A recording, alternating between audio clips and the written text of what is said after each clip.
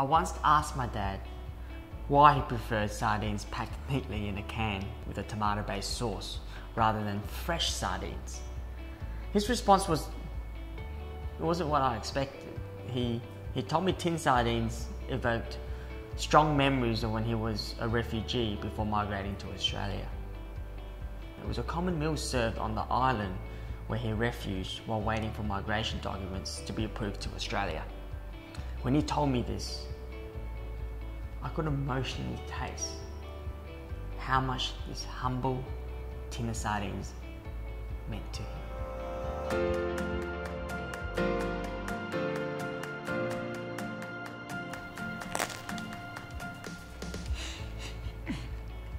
I really can't fault this. My dad had a special connection with cá mòi, sardines, and because of his love for bread, he created his famous banh mi cá mòi Vietnamese rolls with sardines. So let me show you how he used to make it. Let's put the E's in Vietnamese.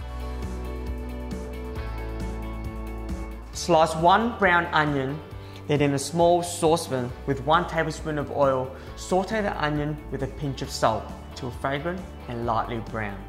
Then add two tins of sardines in tomato sauce, half a teaspoon of sugar and three tablespoons of water just to loosen it up a touch.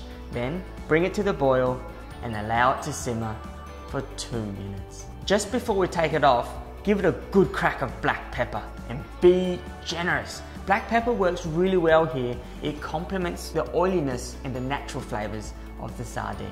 Right, let's take this off onto the bread. Cut it open, straight down the guts, then spread with butter and spoon in sardines along with a generous lashing of the sauce and onions.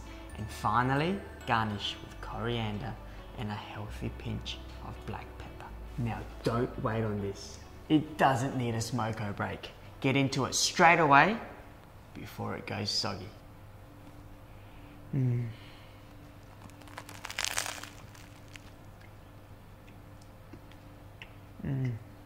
Sardines swimming in a flavored filled pool of tomatoey based goodness, then encased in a crusty Vietnamese roll and garnished with fresh coriander.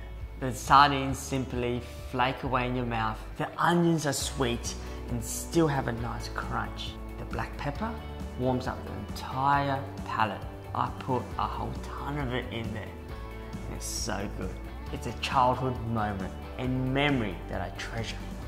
I remember it well and have not hesitated to pass it on to my family. There are many brands of tin sardines in tomato sauce, but the Sumaco brand, made in Morocco, has long been our family favourite. So if you struggle to find it at your local Asian supermarket, I also stock it in my shop. I'll pop the link below. So if you are a fan of sardines, do yourself a favour and give one of Vietnam's most popular, but yet here in Australia, unknown Vietnamese rolls a go.